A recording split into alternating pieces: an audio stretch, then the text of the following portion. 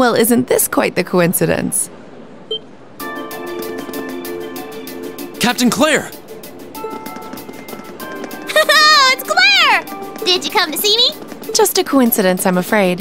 Eisengraf will be passing through here soon, so this station's operating under heightened security. Oh, right! Still, I'm happy to see you again. It's been what, two months since I last saw you?